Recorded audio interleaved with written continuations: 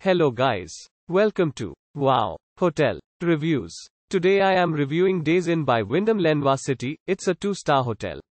Please use our booking.com link in description to book the hotel and get special pricing.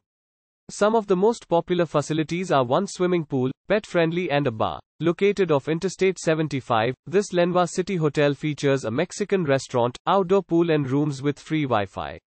The American Museum of Science and Energy is 40 minutes drive away.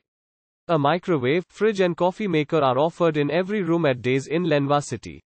A small table with chairs and cable TV are also provided. Lenoir City Days Inn provides grab and go breakfast. Cinco Amigos is located on site and open for lunch and dinner. Lenoir City Park, which overlooks the Tennessee River, is a 20 minute drive away.